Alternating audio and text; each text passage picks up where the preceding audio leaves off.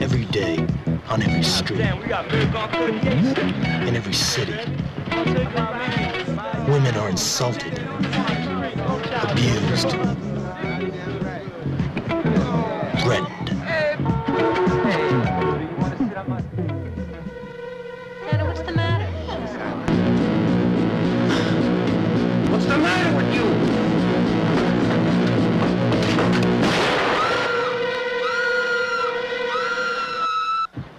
planning on going with someone?